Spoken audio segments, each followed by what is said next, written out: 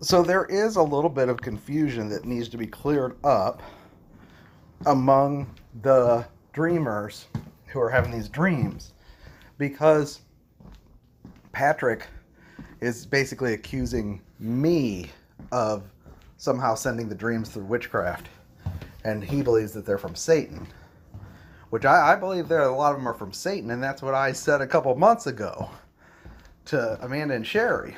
But Amanda and Sherry, and especially Amanda, said no. A Holy Spirit filled believer cannot receive dreams from the devil. Because I was asking her, you got to test the spirits. You're saying I've got an unclean spirit. You're saying God showed you this and that and this. Do you test any of this? No, I heard an audible voice that told me all my dreams are from God. Uh, and that was when, I mean, yeah.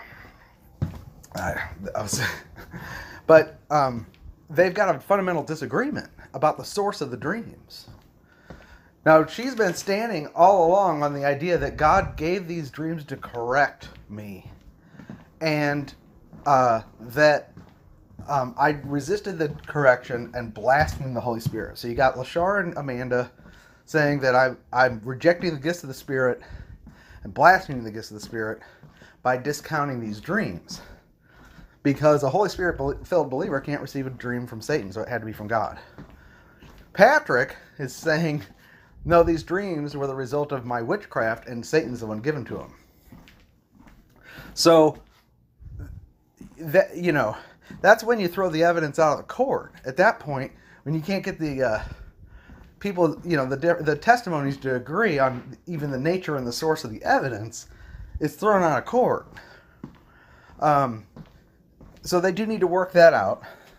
And then Patrick had this weird dream that Sherry was controlling Amanda through a familiar spirit. And he said that was a that dream was an attack from me somehow. Like um now did I send that dream to Patrick?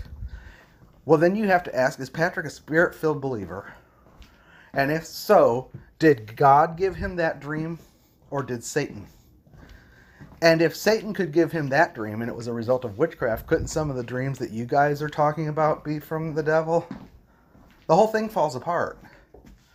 Now, if you say, oh no, it's witchcraft, then you have to undo everything you've said about all these dreams for the last five months.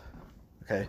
And number one. And number two, what is my motive for if I'm a false teacher and I'm coming in trying to secretly, you know, get people to believe that I believe the gospel they believe, what is my motive in giving people dreams that would lead them to the conclusion that I'm not a uh, that I'm a false teacher or not a believer? That would undo my work. My nefarious scheme would be foiled. So the whole thing is really silly. And again, this is what it was like in the Middle Ages.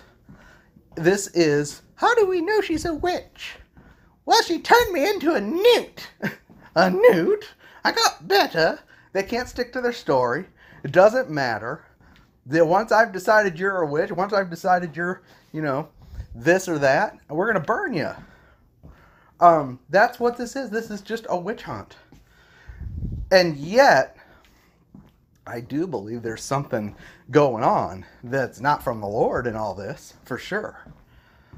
Uh, so, anyway, I just wanted to lay out this pretty glaring contradiction between y'all. See if you can't figure out whether your evidence needs to be thrown out of court or um, if there's any shred of it that stands. All right, take care.